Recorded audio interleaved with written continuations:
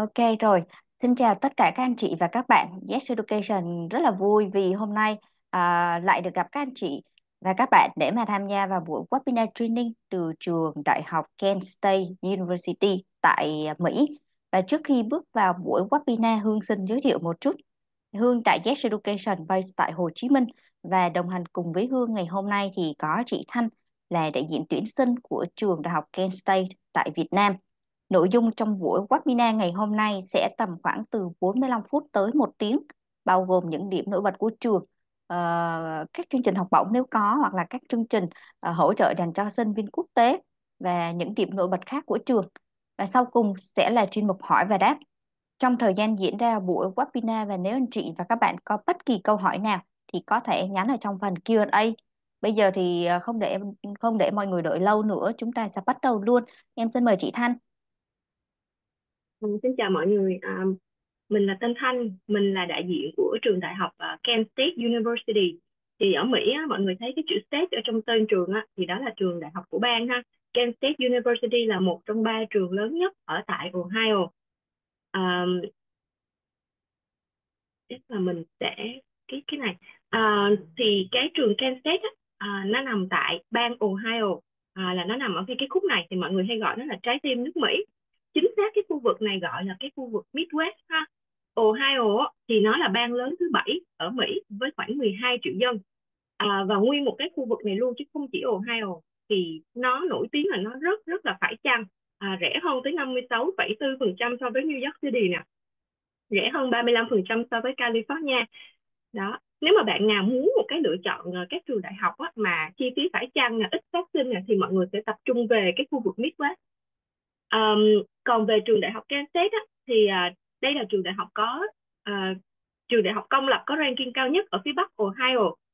À, và trường Kansas là trường đại học Research University. Ha mọi người ở Mỹ thì có bốn cái dạng à, type của university. Thì Kansas nó là Research University NU à, bậc là R1 là bậc cao nhất của đại học Research. Chỉ có 146 trường tại Mỹ à, đạt được cái chứng chỉ R1 này mà thôi. Thì à, tụi em có đào tạo là bachelor, master, PhD à, và welcome agent tuyển hết tất cả các bậc học à, của Kansas và chỉ cần mọi người thấy ở trên website có ngành nào á, là tuyển được học sinh quốc tế ngành đó. Mình không có giới hạn sinh quốc tế vô bất cứ ngành nào hết. Um, à, trên MU bảng xếp hạng thì là đại học công lập là ranking 123 còn mình nhớ là National University là 210 mấy á.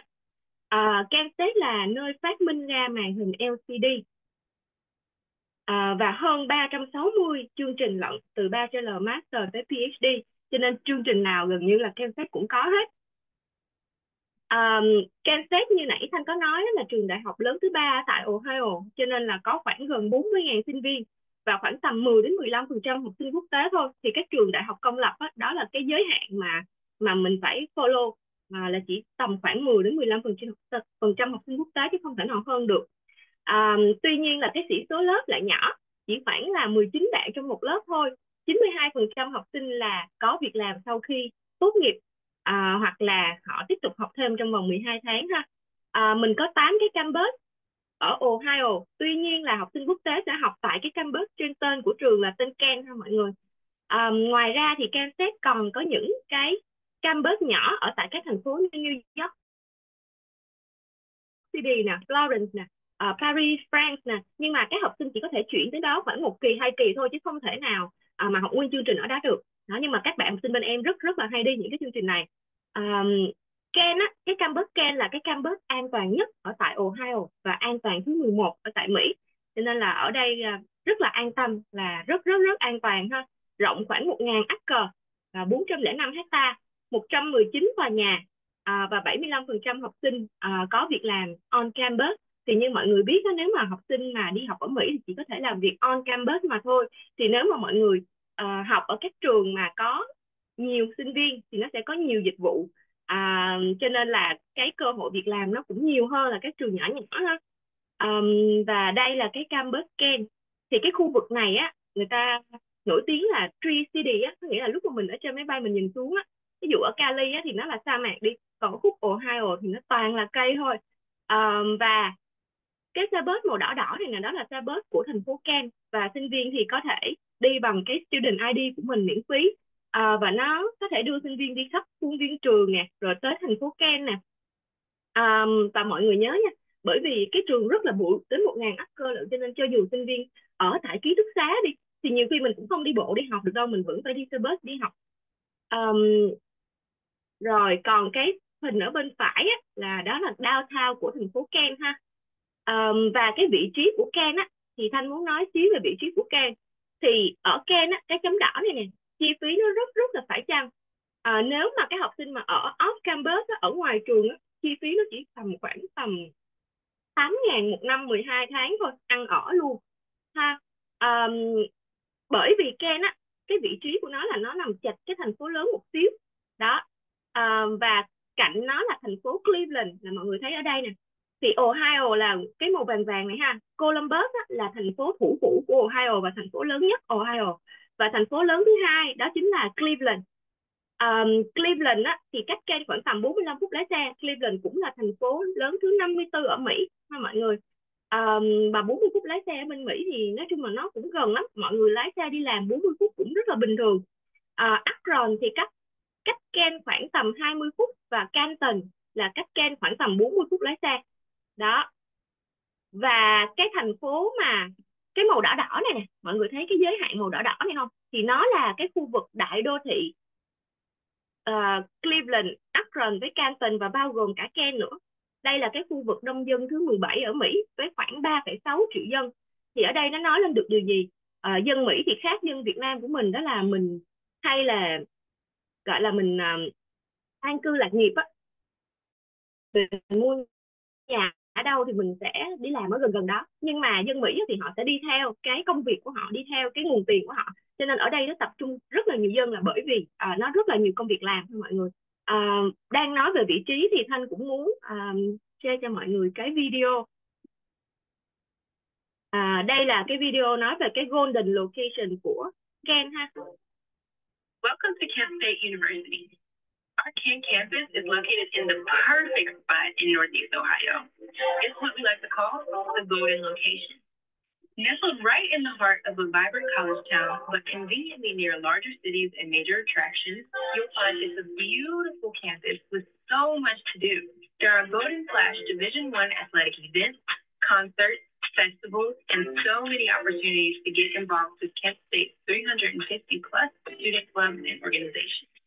As we head just a few steps from campus to downtown Kent, you'll find plenty of restaurants to đây là cái khu vực downtown của thành phố Ken cách cái cổng trường tầm 5 phút đi bộ ra thôi There are unique shops and restaurants throughout downtown and Acorn House. For those looking for outdoor adventures, there's kayaking, canoeing, and hiking bike trails around the Cuyahoga River that runs through the middle of town. Kent also has a full schedule of fun with annual festivals like the Wizardly World of Kent, a Harry Potter celebration, and awesome weekly events like the Haymaker Farmers Market. Want to take a short drive away from Kent to find more adventures? Less than an hour away are the cities of Cleveland, Akron, and Canton. Along the shores of Lake Erie, Cleveland is home to the famous rock and roll. Đây là thành phố Cleveland hồi nãy Thanh có nói đó, cách trên khoảng tầm 45 phút lái xe. À, và đây là thành phố lớn thứ 54 ở Mỹ, lớn thứ hai là tại Ohio. Fame, along with the Cleveland Cavaliers, Browns, and Guardians professional sports teams. The place for live performances and more is Cleveland's Playhouse Square, the nation's largest performing arts center outside of New York City. Rocket Mortgage Fieldhouse and Jacobs Pavilion are just a couple venues where you can catch concerts from entertainment's biggest names, along with other exciting live events. You'll find fine dining options downtown and taste from all over the globe in the many ethnic neighborhoods and markets around the city. Just outside of the downtown area, Cleveland University Circle is home to the world-renowned Cleveland Orchestra, as well as the Cleveland Museum of Art, the Museum of Natural History, and the Cleveland Botanical Gardens. Not far away is the award-winning Cleveland Metro Park Zoo. All along the shores of Lake Erie, you'll find beaches, parks, and other attractions, plus the world-famous roller coaster amusement park, Cedar Point. Just southwest of Kent is the city of Akron,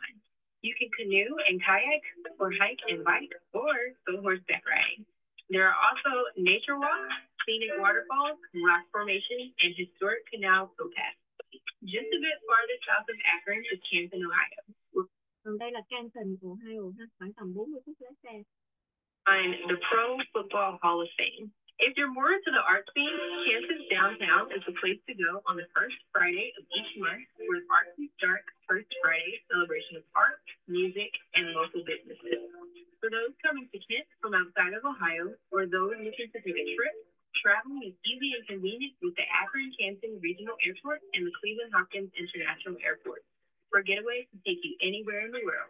There's so much to do on and off campus. Kent State University in our golden location is an amazing place to call home while you're investing in your future. Dạ, đó là một số hình ảnh về trường đại học Kansas ha. Um, và như nãy Thanh có nói thì cái khu vực uh, đại đô thị Cleveland, Akron, Canton đó, nó là khu vực đông dân thứ 17 ở Mỹ, 3,6 triệu dân. Thì mọi người sẽ thấy ở đây có rất là nhiều cái big name của các công ty ha để mà mấy bạn có thể apply internship hay là mấy bạn à, đi làm obt sau này ha. Um, Cleveland Clinic này nè là các bạn học sinh nurse, nursing và các chương trình như kiểu bao tác bên Thanh là thực tập tại Cleveland uh, Clinic thì đây là hệ thống bệnh viện lớn gọi là tốt thứ hai trên thế giới chỉ sau Mayo Clinic mà thôi. Đó. À, đây là cái thành phố Can mà anh tự quay ha. Đây là cái thành phố là ngay ở trong căn gọi là ở ngoài campus của trường chứ khoảng tầm 5 phút. Đó, thì đây là cái khu vực an toàn nhất Ohio và an toàn thứ 11 ở Mỹ. À, và cái khu vực của Ken đó, nó là khu Mỹ trắng luôn mọi người.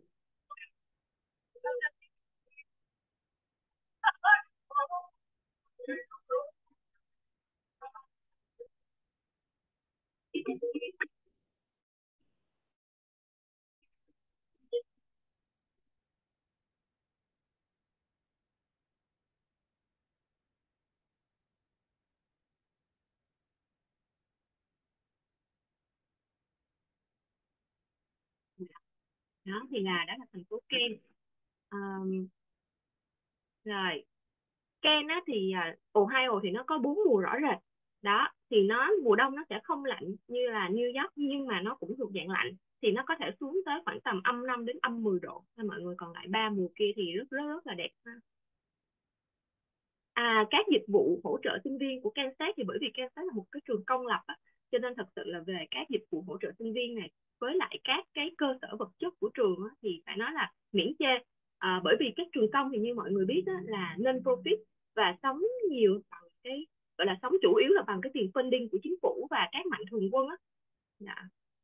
À, đây có 14 cái library và một cái Global Education Library là thanh nhớ khoảng 15 tầng hay sao đó à, và có cái Academic Success Center á, là nơi này mà học sinh học mà không hiểu bài á, thì mọi người có thể mấy bạn có thể tới đây là để được tutor free ha um, academic advisor là cố vấn học tập thì sẽ đi theo học sinh từ ngày đầu tiên bạn đăng ký môn cho đến ngày mà bạn uh, tốt nghiệp ha. Global education là cái văn phòng của bên thanh. Thì um, giúp đỡ học sinh quốc tế về mọi thứ về um, nói chung là e I20 rồi ờ, uh, ISSS những cái uh, student life của sinh viên quốc tế.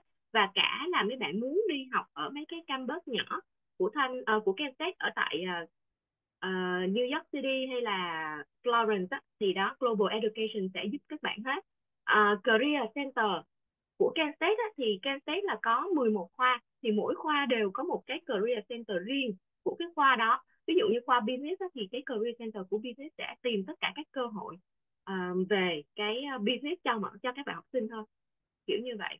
À, đây là một số cái hình ảnh về cái cơ sở vật chất thì nãy trong clip các mọi người cũng thấy rồi. À, stadium của Kansas State này thì Kansas State và có tới 19 độ Division One Sports nhưng thì à, bạn nào mà thích sport và và để ý cái đó thì sẽ biết là um, các trường Division One Sport là những trường rất rất rất là mạnh về sport. Và bên Kansas thì có 19 đội. Thì um, đây là uh, swimming pool uh, hồ bơi thì thanh nhớ là có đến hai ba cái lượng thanh chỉ mới tới có hai cái thôi. Uh, phòng gym đây. Mọi người còn uh, uh, có hơn 400 câu lạc bộ sinh viên này rất rất là nhiều hoạt động là gọi là quanh năm luôn uh, có 18 cái nhà hàng ở trong trường thì sinh viên có thể làm việc ở trong uh, các cái nhà hàng này ở trong trường thôi mọi người. Thì nếu mà sinh viên mà họ làm on campus á, thì sinh viên sẽ làm những việc giống như là ở trong nhà ăn cũng có nè ở trong các cái nhà hàng này cũng được nè ở trong thư viện cũng được nè rồi ở trong các khoa của trường. Đó. À, miễn sao là các bạn làm trong khuôn viên trường là được đó làm gì cũng được ha. Và Kansas thì có 23 cái ký túc xá. À, nói về ký túc xá đó thì uh, Kansas có một cái quy định là nếu mà bạn dưới 20 tuổi thì bạn sẽ bị bắt buộc ở trong ký túc xá thì cái quy định này cũng khá là phổ biến đối với các à, học à, có các trường công lập ha. Tuy nhiên là đối với Kansas á, thì nó sẽ khá dễ. À, nó sẽ không tự động auto enroll học sinh vô. Học sinh nào mà dưới 20 tuổi nó không có auto enroll vô housing đâu. Bởi vì thật sự là có hơn 6.500 sinh viên ở trên uh, trong trường á, ở ký túc xá nên là cũng không có còn nhiều chỗ. Đó cho nên nếu mà bạn nào muốn ra ngoài ở đó, thì từ đầu á, bạn sẽ không đăng ký housing gì hết có visa rồi không đăng ký housing gì hết ha. Thì bạn à, vẫn có thể ra ngoài được không có à, chưa có một bạn nào bị bắt lại hết. Đó 10 năm mười mấy năm nay là không có một bạn nào bị bắt lại hết nha mọi người. Rồi thì ở ngoài thì lúc nào nó cũng sẽ rẻ hơn ở trong trường rồi rẻ hơn khoảng tầm 30 40 phần trăm lận. À, đây là nãy thanh có nói là mỗi năm á, thì ăn ở sẽ vào tầm 8 ngàn đô ha. Thì housing á, thì thường mấy bạn thuê khoảng 500 đô một tháng nè tiền ăn thì khoảng tầm một hai trăm đô nếu mà các bạn tự nấu ha. Rồi còn đây là cái um, học phí của Kansas thì uh, học phí undergrad đi. À, tại học sinh Việt Nam mình đi nhiều undergrad nhất mà. Thì mỗi năm là khoảng 22.900 một năm là hai kỳ ha các bạn tiền gì cũng sẽ đóng theo kỳ hết. À, tiền ăn ở trong trường là 13.400 này mọi người thấy không? Nó mắc hơn là tiền ăn ở ngoài trường ha. Và mọi người nhớ ăn ở trong trường này nó chỉ tính trên hai kỳ thôi à, cái kỳ hè á, và cái kỳ nghỉ đông 3 tuần á, thì á, các bạn muốn ở lại ký túc xá vẫn được. Thì cái nhưng mà bạn vẫn phải trả tiền. Nhưng mà có điều là cái giá tiền mà thanh nhớ đó, kỳ hè trước mà học sinh uh, thanh trả chỉ vào khoảng một nửa với giá thường thôi. Nghĩa là khoảng tầm có trăm rưỡi đô một tuần là 600 một tháng thôi. Đó tại vì cái mùa low season đó thì ờ, cũng tạo điều kiện cho sinh viên nếu không cũng đâu ai ở trong đó đâu. Đó và cái health insurance của bên thanh là khoảng ba ngàn. Thì có thể là uh, mọi người một, uh, sẽ thấy là à, nó cũng khá cao nhưng mà cái policy health insurance của Kansas rất rất là tốt. À nó cover nhiều cái là up to 100% luôn. Ờ, à, Kansas thì có cái bệnh viện ở trong trường. Thì nếu mà à, sinh viên bị cái gì ấy, thì mình đến khám ở bệnh viện đó trước thì nó sẽ là à, cover 100% hết luôn nha mọi người. Đó tuy nhiên nếu mà emergency ví dụ nửa đêm hay sao đó mà bạn cần phải đi vô bệnh viện thì đó thì thì những lúc đó bạn đi ra ngoài thì có thể nó bị tràn sinh viên của thanh kỳ trước đó, có một bạn là bị xỉu thì uh, làm xét nghiệm rồi ở bệnh viện này kia đó. Thì ra cái bill là khoảng à, 7 ngàn mấy. Nhưng mà rút cuộc uh, cái health insurance cover cho bạn rất rất là nhiều. Và bạn chỉ trả out of pocket có bốn trăm mấy chục đô thôi nha. Đó thì thực sự cái health insurance này là cái tiền mình đóng càng cao thì cái policy càng tốt thôi. Um, ESL của bên Thanh á, là mỗi kỳ á, thì nó chỉ khoảng ờ, năm ngàn tư thôi một năm khoảng mười ngàn tám thôi. Ờ, uh, ESL thì có ba intake một năm là có mùa khô, uh, summer spring. Uh, nhưng mà cái chuyên ngành chính uh, thì chỉ có mùa khô và spring thôi nha mọi người.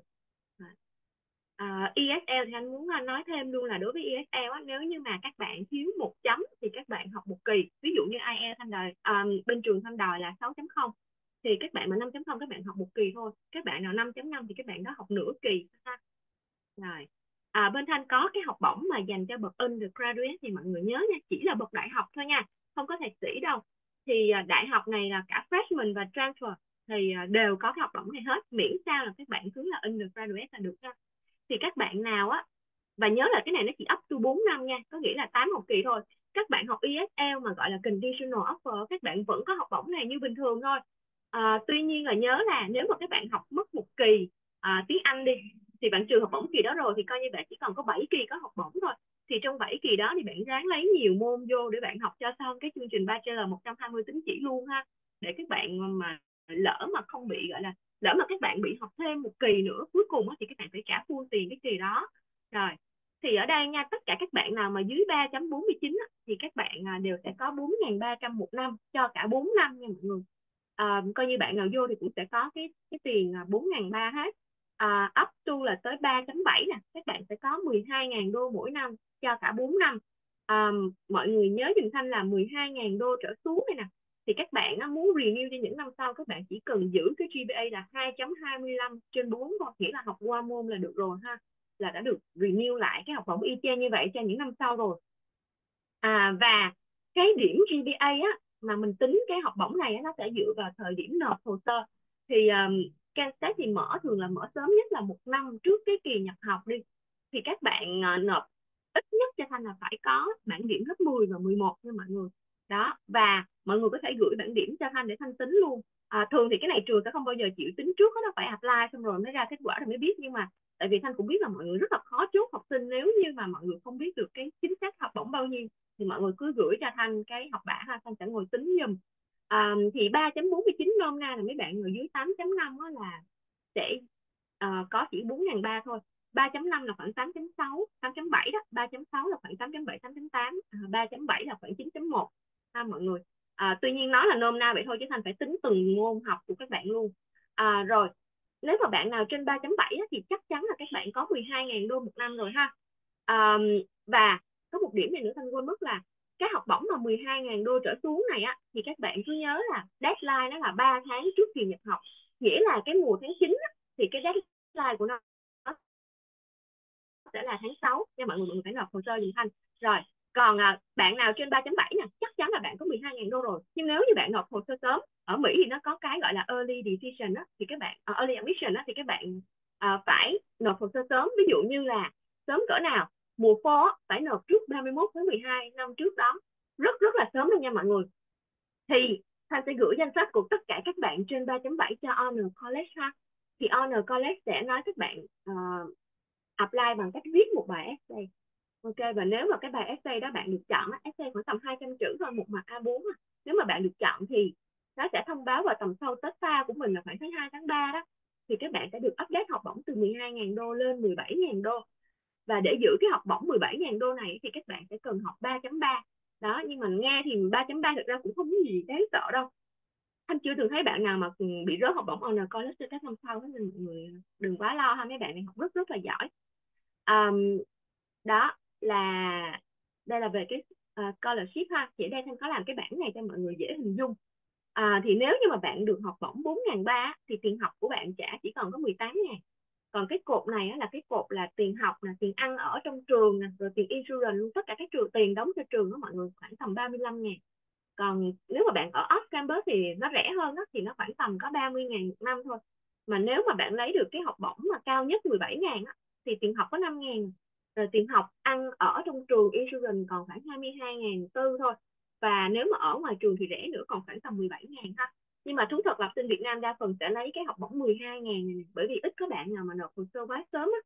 Đó thì uh, nếu mà bạn lấy học bổng 10, 12 ngàn một năm thì đâu đó khoảng tầm 28 ngàn ăn ở trong trường à, 22 ngàn ăn ở ngoài trường cho mọi người. À, 12 ngàn trở xuống là automatic ha. Và bên thanh là admission rất là dễ chỉ cần mọi người nộp học bạ và điểm tiếng Anh. Nếu mà không có điểm tiếng Anh đó mình lấy conditional thì mình nợ tiếng Anh thôi. Đó thì mình cứ học nộp hồ sơ nộp lên thì chịu khó nhắn với thanh cái uh, email của các bạn đó để thanh vô thanh mark lại là ồ bạn này thiếu tiếng Anh. Vậy đó. Ha, thì vẫn có học bổng như bình thường vẫn sẽ học bổng bình thường nha. À, và có một cái điều này nữa đó chính là nãy thanh có nói cái deadline của học bổng 12 ngày trở xuống á, nó là 3 tháng trước kỳ nhập học.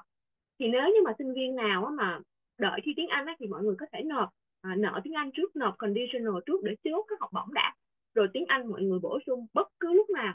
Thì uh, Thanh đều có thể đổi cái Y20 lại thành Y20 chuyên ngành được cho bạn đi phỏng vấn ha. Cái Y20 cái số Y20 á trên cái conditional offer ESL á nó cũng y chang như cái số trên Y20 của chuyên ngành nha mọi người. Nên có thể lúc đó là có thể schedule cái ờ, interview được rồi. Đó rồi khi nào có tiếng Anh cứ nói Thanh đổi lại cái Y20 chuyên ngành cho đi phỏng vấn nha.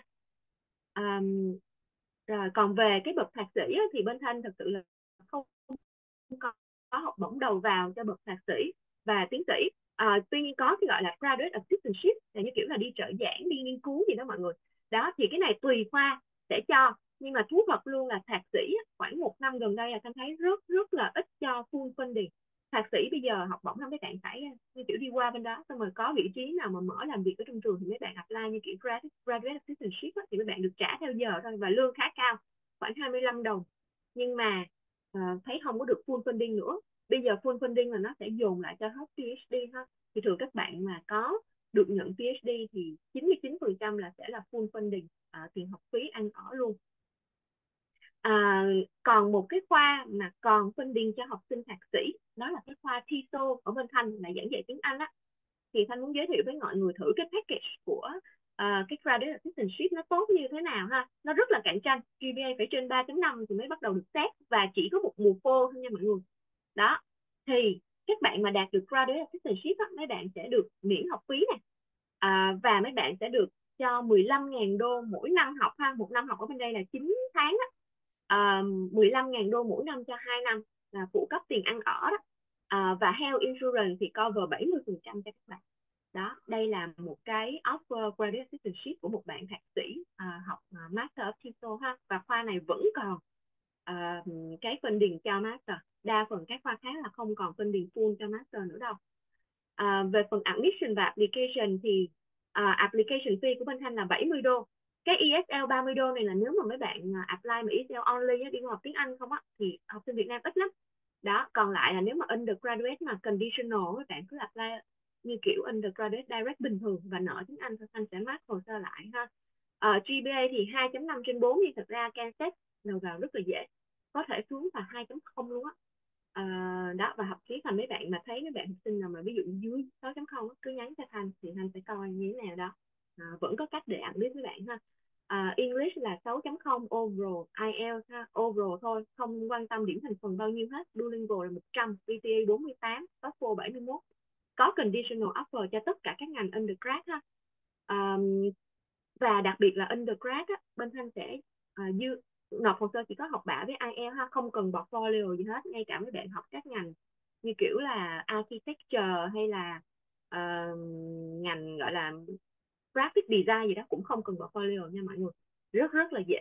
Còn cái bậc graduate á, thì ờ, cái conditional offer nó sẽ tùy vào ngành ha và đa phần vẫn sẽ yêu cầu các bạn phải có ít nhất IELTS 6.0 thì mới xét được conditional offer. Thì thạc sĩ ở Mỹ thì nó nó khó thì các mọi người cũng biết rồi à, application fee thì thực sự trường thanh chưa bao giờ quay cái phí này. Hết cho nên bắt buộc các bạn phải đóng 70 đô nha. Um, cái process của mấy bạn khi mấy bạn apply đó là mấy bạn apply online trên website của Cansat thôi hoặc là mấy bạn apply qua Common App cũng được luôn. À, trả cái phí application fee xong mấy bạn có thể upload tất cả hồ sơ lên ha. À, và bên thanh sẽ không yêu cầu các bạn làm ờ, uh, WES hay cái gì hết ngay cả học sinh transfer học sinh thạc sĩ cũng không cần. Tất cả là bên phòng admission của Kansas sẽ tự làm ha à, đó mọi người chỉ cần upload cái bản mềm lên cái portal của trường là được. Và cũng không cần gửi bản điểm gì qua trường hết.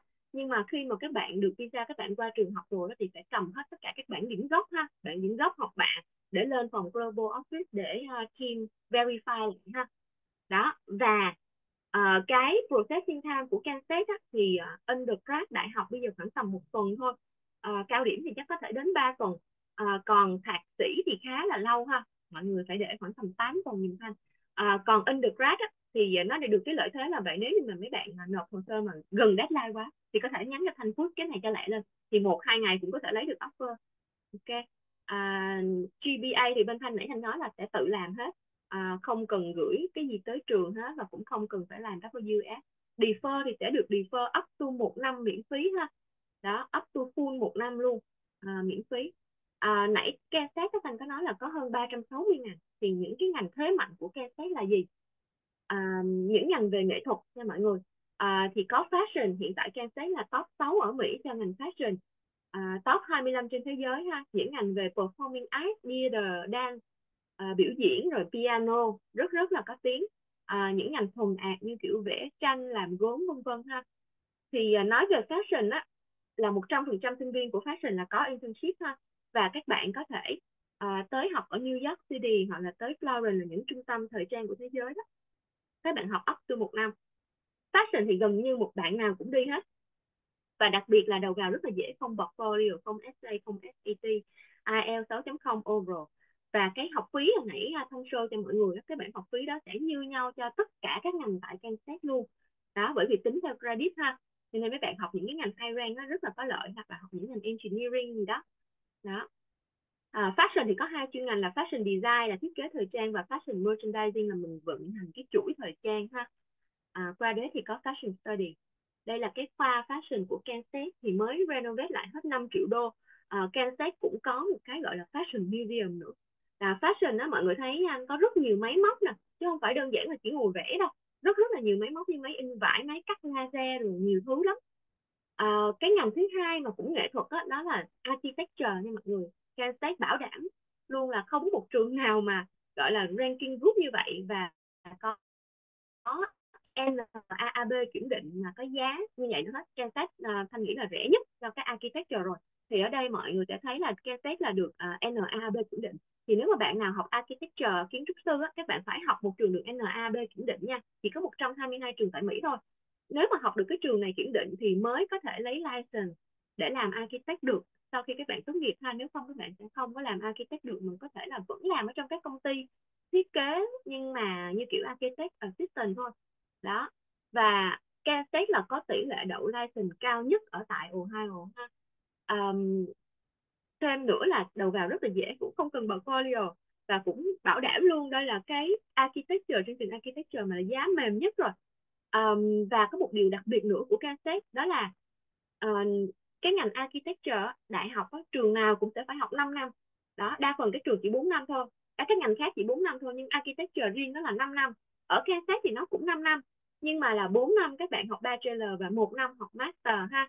Thì sau 5 năm á, học các trường khác là lấy được bachelor thôi còn Caltech á, là lấy được bằng bachelor bằng master và đủ, đủ điều kiện để thi lấy chứng chỉ à, thi lấy chính chỉ luôn nha mọi người. Đó à, đây là các à, cái ngành trong cái chương trình à, cái khoa kiến trúc của bên Thanh.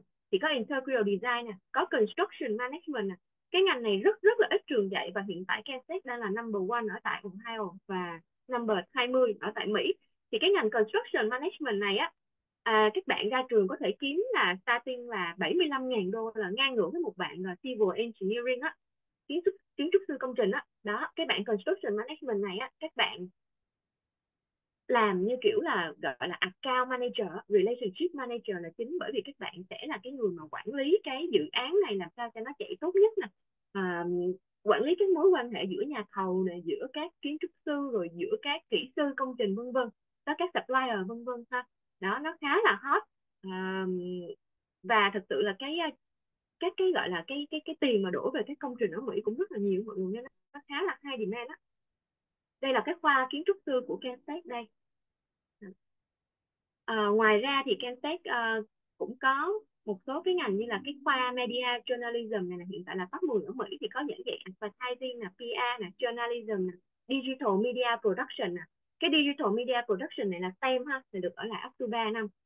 Uh, graphic design bên thân là top 1 số 4 là communication study top 152 À, về business á, thì khoa business của Caltech được kiểm định bởi AACSB ha tổ chức kiểm định uy tín nhất cho ngành business à, có 11 cái uh, chuyên ngành thì chắc mọi người cũng quá quen thuộc rồi marketing rồi accounting finance.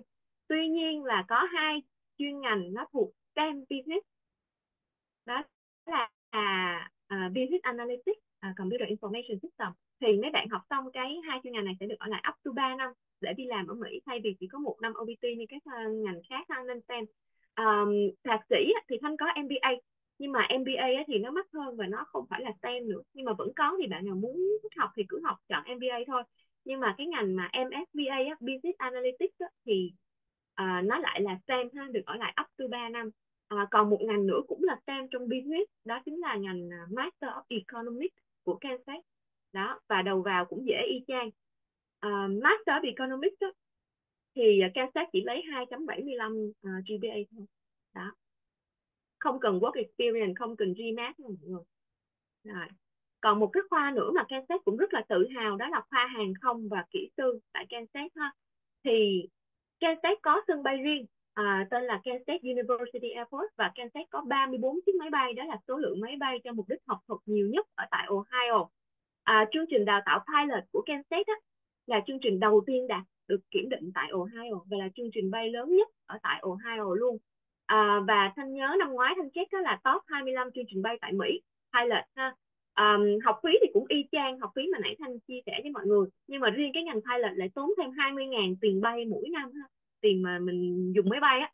Đó. À, rồi Air Traffic Control kiểm soát không lưu á. Kansas là trường duy nhất ở tại Ohio được uh, cục hàng không liên bang Mỹ chỉ định đào tạo Air Traffic Control ha. Và nó cũng có một cái là gọi là cái mô phỏng gọi là hoàn chỉnh nhất hơn tất cả các trường nào khác hết uh, cho cái Air Traffic Control. Um, và engineering á, thì ờ, uh, Kansas có tất cả các ngành này là có kỹ sư máy bay này đó Aaron um, có cái uh, mechanical mechatronic engineering là computer engineering và tất cả đều được ABET kiểm định hết. Ha. Uh, và các ngành engineering này thì ở lại up to 3 năm STEM rồi. Um, và các bạn á, mà tới Ohio học về hàng không á, các bạn có thể ở lại Ohio xin việc luôn à, bởi vì à, cái Ohio nó là number one supplier cho Airbus và Boeing ha mọi người. Công việc rất rất là nhiều.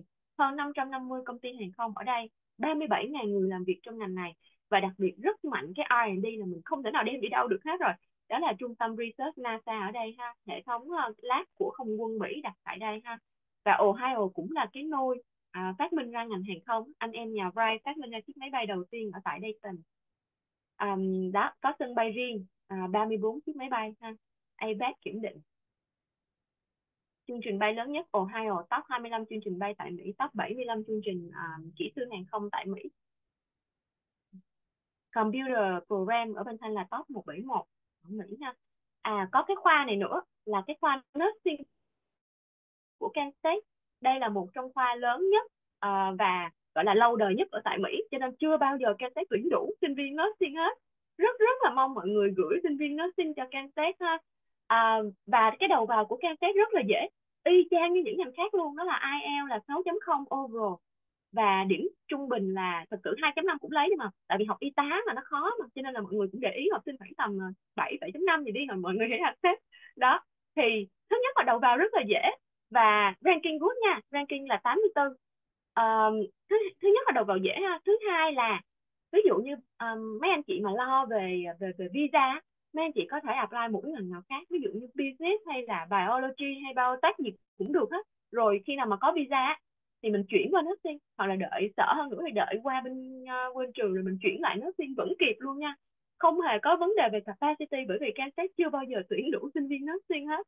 Đó và cái lộ trình học thì um, cũng rõ ràng lắm 4 năm thì năm 1, năm 2 là học ha năm 3 cũng học mà có thêm cái internship.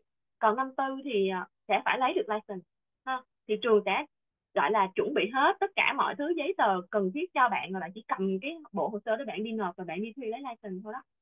Đó. Và nursing thì ờ, mọi người biết rồi à, quá quá là dễ định cư rồi. Là gần 100% sinh viên là có việc làm trong vòng 6 tháng ha.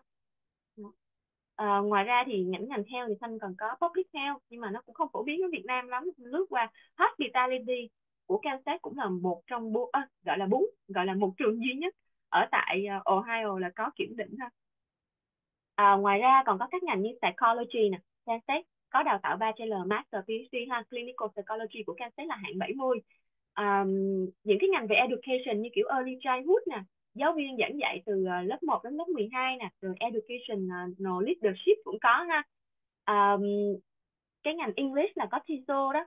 Rồi những ngành về ờ, biological science là bào chế thuốc đó mọi người. Kansas có đào tạo thì ngành bào chế thuốc phải học lên PhD ha. Uh, physics là mathematics uh, những ngành về hóa nè, đó đây là những ngành mà ranking rất là tốt tại Kansas thì đó là tất cả mọi thứ về trường đại học Kansas giờ là cũng rất rất là lâu rồi dạ. Ờ, à, cảm ơn chị Thanh với phần chia sẻ khá nhiều thông tin về trường đại học Kent. Thì Hương tin rằng là sau cái buổi webinar ngày hôm nay thì các anh chị và các bạn cũng sẽ có thêm sự lựa chọn khi tư vấn cho các học sinh khi mà chọn uh, Mỹ làm điểm đến học tập. Uh, Hương cũng xin tóm tắt một chút đó là uh, đây là trường đại học công lập lớn ở bang Ohio ha. Campus thì rất đẹp và rộng thì mọi người cũng đã thấy rồi. Uh, vì là campus rộng và nhiều tiện ích cho nên là học sinh rất thuận tiện để có thể là kiếm việc làm part time trong campus của trường. Ở chương trình học thì cũng đa ngành nghề cho nên học sinh cũng thoải mái lựa chọn luôn. À, vì là đại học công lập cho nên là học phí cũng khá mềm và còn có học bổng nữa. Cho nên là các bạn học sinh của bên mình mà có chọn Mỹ để đi du học thì có thể là thêm trường đại học Kent này trong list để cân nhắc thêm ha. Um, tới phần câu hỏi và trả lời thì Hương cũng xin đọc uh, các câu hỏi ở trên đây để cho những anh chị nào mà mình chưa đặt câu hỏi thì mình cũng có thể nghe phần câu hỏi và nghe phần câu trả lời để mình biết thêm nhiều thông tin về trường trong cái buổi webinar ngày hôm nay. Thì uh, em xin đọc one by one thì chắc là nhờ chị Thanh uh, mình trả lời luôn ha. Câu hỏi đầu tiên đó chính là cộng đồng người Việt ở Kent có đông không chị? À cũng có, cũng có người Việt thì ở cái thành phố Kent á, là mọi người sẽ tưởng tượng thành phố Kent nó khá nhỏ nha, nó không có lớn, nó khoảng tầm 28.000 à, dân thôi, nhưng mà sinh viên nó đã là 40.000 rồi. Thì hiện tại cộng đồng người Việt ở Kent không thì Kent ở đông không thì chắc là nó sẽ không bằng Cali với Texas đâu. Nhưng mà cũng có người Việt và ở trong đó Thanh vẫn thấy là có những nhiều tiệm phở nè, rồi tiệm nail nữa. Đó ở trong cái uh, gọi là cái cái thành phố Kent đó. Uh, ừ. dạ. Ừ. Những bạn nào mà đi du học mà không có người thân ở bên Mỹ cho nên là cũng quan tâm về cái chủ đề về cộng đồng người Việt ở đó đông hay không để cũng ờ, đỡ bị lạc lõng bơ vơ cho nên là mọi người cũng yên tâm cũng có cộng đồng người Việt nhưng mà có điều là không có được uh, đông đúc bằng những cái bang mà tương đối phổ biến như Cali thôi ha à, tiếp đến về phần câu hỏi số 2 là học sinh có bằng tiếng Anh thì có học sinh không có bằng tiếng Anh thì có xin được E20 không và uh, trường có interview không chị? Trường thì không có interview ha chưa chưa có interview admission đâu. À, về cái E20 á, thì nếu mà chưa có tiếng Anh thì các bạn sẽ xin conditional offer thôi cái kiểu thư mời có điều kiện á. Thì uh, cái đó thì bạn sẽ là E20 của ESL nha. Uh, nhưng mà sẽ đính kèm một cái conditional offer bảo là bạn đã nhận được vào chương trình chính rồi sau khi bạn học xong ESL thì bạn sẽ được vào chương trình chính. Ừ, ok, cảm ơn chị. À, đấy cũng là những cái điều quan tâm của học sinh bởi vì đi Mỹ thì không phải là bạn nào cũng có à, bằng tiếng Anh đâu, cho nên là ờ, nhiều bạn cũng quan tâm về cái vấn đề này lắm. Nhưng mà các bạn nên tốt nhất chuẩn bị kỹ về phần tiếng Anh để không những cho cái phần uh, thuận tiện xin trường và bên cạnh đó cho cái phần xin visa Mỹ uh, nó cũng được trôi chảy nữa.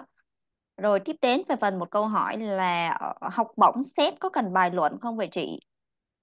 Học bổng á, thì à, cái Global Scholarship á, nếu mà từ 4.300 đến 12.000 đô thì nó sẽ là auto dựa trên cái điểm trung bình của bạn luôn à, không có bài luận gì hết tuy nhiên nếu như mà bạn mà muốn làm cái à, muốn apply cái honor scholarship á, nghĩa là bạn trên 3.7 rồi và bạn apply sớm á, thì sẽ có một bài luận khoảng 200 chữ Ừ. Rồi cảm ơn về phần uh, phản hồi của chị. Rồi tiếp đến em xin đọc một câu hỏi nữa rằng là Ờ, tôi có học sinh muốn đi ờ, chương trình master nhưng chưa có GMAT thì có thể xin E20 không? chương trình thực ra đa phần các chương trình master tại Kansas bây giờ cũng không yêu cầu GMAT hay GRE đâu chỉ có một số ừ. chương à, business là không có yêu cầu GMAT rồi đó um, computer science thì có yêu cầu GRE nhưng có thể liên lạc với Thanh Thanh sẽ tìm cách waive dùm Thanh nếu mà GPA của bạn tốt thì vẫn có thể waive được đó Ừ. Như vậy thì khá tốt thì ờ, cũng là một trong những cái điểm khá linh hoạt của trường Kent. À, nhiều bạn học sinh mà chưa có mấy cái bằng này thì cũng sợ lắm bởi vì chưa không biết là cái format như thế nào mà cũng không biết ôn ở đâu cũng không biết là thi ở đâu luôn. À, cho nên là nếu mà không có thì cứ liên lạc trực tiếp với Yes Education để Yes Education có thể là hỏi trường để xem coi cân nhắc có thể quay được cái bằng đó hay không ha. Uh, rồi tiếp đến một câu hỏi nữa rằng là à, đưa đón sân bay của trường có được free không ạ? À, đưa đón sân bay của trường thì phí sẽ là 50 đô ha. À, tuy nhiên đó là phí mà trường đã hỗ trợ sinh viên rồi đó. Tại vì cái bill mà Thanh thấy là nó tới 189 đô lận. Nhưng mà trường sẽ hỗ trợ cái phần uh, chênh lệch giữa 189 đô với 50 đô. Nói chung học sinh chỉ trả 50 đô thôi. Ừ, cũng là một cái điều khá hời đối với học sinh. Ừ. À, và nhân đây cho em hỏi thêm một chút là cái đưa đón sân bay đó là trường họ sẽ đưa đón sân bay từ uh, sân bay tới ký túc xá hay là tới địa điểm mà học sinh uh, mong muốn vậy chị? Tới cái địa điểm học sinh mong muốn nếu học sinh ở ký túc xá thì chở tới ký túc xá nếu à, mà ở ngoài. Ừ. Ừ. Và sân dạ bay dạ của mình là đáp ở sân bay Cleveland nha. Cách khoảng ừ. 40 ừ. ừ. Thì coi như là cái offer 50 đô đó là không quan trọng về cái destination của học sinh học sinh ở ký túc xá học sinh ở ngoài cùng người thân hay ở đâu đó thì miễn cũng được cái phần 50 đô đó ha À, rồi tiếp đến em sẽ đọc thêm một câu hỏi nữa rằng là nhờ chị gợi ý một vài ngành mà học sinh học xong dễ ra kiếm việc tại Mỹ được không? hiện tại tại Mỹ á, thì tất nhiên là cái ngành sức khỏe rồi nhất là nursing này đó nãy Thanh Thanh cũng có nói là nursing bên Kansas rất là dễ vô và mọi người có thể chuyển qua ngành nursing ngay khi qua qua Mỹ luôn nếu mà mọi người sợ vấn đề visa này à, và những cái ngành STEM thì những ngành như Ừ. kiểu engineering um, đó aerospace engineering rồi uh, mechano, mechatronic engineering mechanical engineering đó những ngành về Ừ. STEM và những ngành à, về health Sức khỏe. Ừ. rồi. Và nếu mà cụ thể hơn mọi người cũng chưa rõ rằng là những khối ngành về STEM hoặc là về sức khỏe thì mình nên chọn vào những cái ngành cụ thể nào thì có thể liên lạc trực tiếp với Yes Education sau cái buổi webinar ngày hôm nay thì Yes Education luôn luôn sẵn sàng hỗ trợ mình trong cái khâu khi mà tư vấn cho học sinh bên mình ha. Rồi ờ, có một câu là cho em xin slide và video được không? Chắc chắn rồi em sau cái buổi webinar này thì bên chị cũng sẽ share video và share slide ờ, share slide cho mọi người. Thì slide thì ờ, bên chị có thể là share luôn, nhưng mà về video thì bên chị sẽ cần một vài ngày để upload trên kênh YouTube của Yes Education, cho nên có thể nó sẽ ờ, mất một vài ngày. Nhưng mà em có thể subscribe cái kênh YouTube của Yes Education để mình à, biết được để mình nhận được cái video mới nhất khi mà Yes Education up lên ha. Rồi có một câu hỏi nữa rằng là cho chị hỏi là trường có phỏng vấn sinh viên không hoặc là có hỗ trợ mock interview cho học sinh không? À, trên sách thì không có phỏng vấn sinh, ờ, sinh viên ha và cũng không có hỗ trợ mock interview Ừ. À, rồi à, tiếp đến một câu hỏi nữa rằng là cho chị hỏi à, sorry là chị nhắc lại giúp em về thời gian xét hồ sơ và cấp e I-20 với ạ. Và hiện e I-20 là gửi qua email đúng không chị? nếu như là hồ sơ mà đại học á, thì thời gian xét là khoảng tầm một đến 3 tuần nè. À, xong rồi thì mọi người mới xin ờ, e uh, Y20 ha. E20 thì khoảng hai ba ngày thôi là có rồi. Đó um, còn nếu mà hồ, hồ sơ thạc sĩ á, thì khoảng tầm 8 tuần lận. Đó và sau đó xin E20 cũng khoảng uh, ba hai ba ngày nữa và Y20 hiện tại bây giờ là e- electronic rồi là mình làm qua email luôn chứ mình không có Ừ. gửi uh, bản cứng nữa đâu em ạ. Ừ. Nhìn chung thì đối với những bạn học sinh xin chương trình đại học thì thời gian sẽ xét nhanh hơn. Còn đối với những bạn học sinh xin chương trình sau đại học thì thời gian xét nó sẽ lâu hơn tầm khoảng từ 8 tuần trở lên thì tầm khoảng 2 tháng, mất tầm khoảng vài ngày xuất ra I20 thì coi như tầm khoảng 2 tháng hơn ha. Cho nên nếu mà um, mọi người có học sinh quan tâm về chương trình sau đại học thì mình có thể aware trước cho các bạn về cái mốc thời gian. Rồi một câu hỏi nữa rằng là tháng nhập học là tháng nào ạ? À, nếu mà là chương trình chuyên chính khóa đó ha chính khóa của thạc sĩ và của đại học á, thì là chỉ có hai kỳ một năm thôi là kỳ fall và kỳ spring nha mọi người nhưng mà nếu mà học ESL á, thì có ba kỳ ESL có thể đi thêm cái kỳ summer nữa Ừ. Chị summer cụ thể là tháng 5 hả chị? Tháng năm đúng rồi Ừ. Thì uh, xem như là sẽ có hai kỳ nhập học chính là uh, tháng một và tháng 9 đúng không chị? Còn nếu mà những bạn nào mà đi chương trình tiếng Anh thì sẽ có thêm một kỳ nữa là kỳ tháng 5 coi như là một năm chính ha. Và nếu mà mọi người không nhớ thì cũng không có gì phải lo cứ liên lạc với Yes Education bất cứ lúc nào. Rồi tiếp đến một câu hỏi nữa rằng là học sinh thiếu tiếng Anh thì bên mình có dạy ESL không? Phần này thì em nghĩ là hồi nãy chị có chia sẻ rồi. À, hay là học sinh cần học ở trung tâm bên ngoài và nếu có thì trường chấp nhận những trung tâm nào? Em Thanh liệt kê một số option dùm nhé. Cảm ơn em. thật ra trường thì có cái khoa ESL của riêng trường luôn và cái giá thật nó rất rất là rẻ rồi giá là gọi là một kỳ là năm ngàn tư là y chang học sinh bản tứ đóng bao nhiêu luôn á là mình đóng bao nhiêu cho nên rất rất là rẻ mỗi năm gọi là hai kỳ thì có mười ngàn tám thôi mà đa phần học sinh qua đây chỉ có một kỳ thôi à đó là khoảng năm ngàn tư thôi cho nên là trường thật sự là cũng muốn học sinh học ở tại trường á còn các cái partner thì uh, thật sự là đó giờ trường cũng không có promote cho nên là chắc là không có dạ Ừ. Ờ, à, hồi nãy à, em có nghe chị nói là bên trường có cấp cái conditional offer cho học sinh đối với học sinh mà chưa có bằng tiếng Anh thì có nghĩa rằng là học sinh sẽ có cái E10 của chương trình tiếng Anh và cộng với cái conditional offer của khóa chính đúng không chị? Như vậy thì cũng khá thuận tiện dành cho học sinh khi mà các bạn đi phỏng vấn và giải trình về cái study plan của mình ha. Còn với lại thật ra À, tiếp đến thì à, dạ sao chị chị muốn bổ sung gì học không? chứ tiếng Anh á, thì học ở trong trường luôn nó cũng thuận tiện hơn là học ở một cái trung tâm khác đó mới chuyển qua trường chị nghĩ là ý anh phải là có cái những cái trung tâm tiếng Anh nào khác ở bên Mỹ mà Kansas chấp nhận hay không á ừ. Ừ, ok rồi. Rồi em xin à, đọc một câu hỏi nữa rằng là chị Trem em hỏi học sinh tốt nghiệp ngành truyền thông quốc tế chỉ học một môn toán là xác suất thống kê GPA 7.6 trên 10 có thể đăng ký học thạc sĩ Data Science không hả? Bạn có kinh nghiệm làm việc trong ngành này rồi. chị chị nghĩ chính xác á, thì bạn sẽ phải học business analytics nha em tại vì data science này á, nó lại thiên về về về CS quá thì bạn sẽ không được nhận đâu chắc chắn luôn Ờ, ở, Mỹ á, chỉ có một cái chuyên ngành duy nhất mà dễ nhận học sinh mà trái background nhất đó là về business ha. tất cả các chuyên ngành về business còn lại những chuyên ngành ví dụ như computer science chẳng hạn không có một cái bằng đại học mà liên quan về CS không bao giờ học được đó cho nên cho bạn là chị nghĩ bạn đang hỏi về business analytics đó và yes có có nhận và GPA 7.6 là tốt rồi à, nhưng mà bạn sẽ phải cần IELTS 6.5 nữa ha overall Ừ. Rồi, à, đây cũng là một câu hỏi cuối cùng. À rồi, em thấy có một câu hỏi nữa rằng là liên lạc Yes Education qua social media nào ạ? Thì à, tại vì cái phần hỏi ở đây chị không biết là ai hỏi, chị chỉ có thấy tên thôi nhưng mà cũng không biết Zalo hay số điện thoại của bạn nào đó thì chắc là nếu mà em có nhận được cái link Zoom của chị thì có nghĩa rằng chắc em cũng nằm trong à, group của các agent bên chị thì chắc là em có thể nhắn tin trực tiếp cho chị để bên chị có thể là support em kỹ hơn nếu mà em có thêm bất kỳ thắc mắc nào em có thể là email hoặc là Zalo cho bên chị đều được nha. À, dạ rồi thì tới đây em thấy không còn câu hỏi nào nữa thì em xin cảm ơn chị Thanh và cảm ơn các anh chị đối tác của Yes Education rất nhiều vì đã à, dành thời gian tham dự buổi webinar ngày hôm nay. Do là thời gian có hạn thôi cho nên nếu mà mọi người không có bất kỳ câu hỏi gì nữa, Yes Education xin kết thúc buổi webinar. Và nếu à, sau buổi này mọi người có bất kỳ thắc mắc hay câu hỏi gì thêm thì đừng ngần ngại có thể liên lạc với Yes Education ha. À, xin chào tạm biệt và hẹn gặp lại mọi người trong thời gian sớm nhất. cảm ơn Hương cảm ơn mọi người Dạ, xin cảm ơn và xin chào tạm biệt.